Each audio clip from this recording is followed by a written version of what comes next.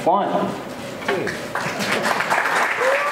With that, officials from YSU, Humtown Products, and America Makes celebrated the start of production of this one-ton S-Max printer. It's very exciting to see that this can happen in, in this area. Mark Lamoncha is the CEO of Humtown Products, which manufactures sand molds used in the metal's casting process. It was originally built to do prototyping and can be used uh, in areas where the tooling cost would be too high.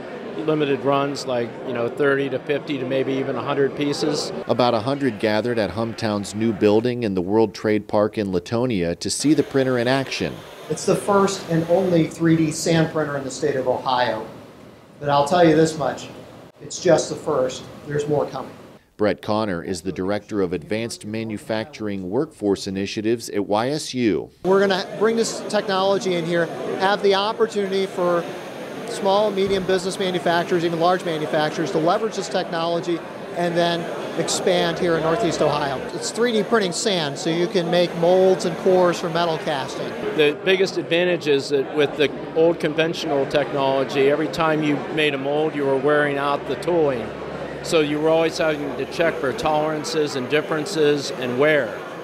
With this, every part you print is always the same shape. Purchase of the printer was made possible through an Ohio Third Frontier grant awarded to YSU and America Makes. This is what matters, and this machine is really what matters. What takes place here in Northeast Ohio, what takes place in this region how the impact of this equipment, not just for the R&D that it's going to support, not just with the training, but it's it's the production, it's the it's this kind of activity that takes place that really moves manufacturing forward. Besides helping manufacturers, the printer is also a valuable tool for YSU students learning about additive manufacturing. I've been doing additive for about a year and a half in research, but more specifically additive that involves casting.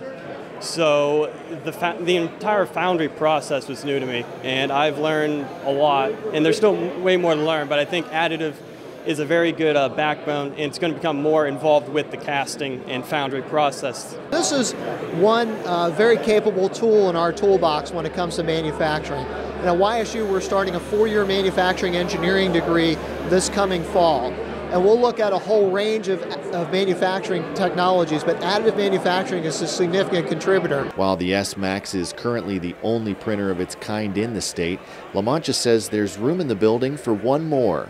And this is a, a world trade zone, so it it entertains the opportunity for exporting this product to other countries right out of the Columbiana County Port Authority.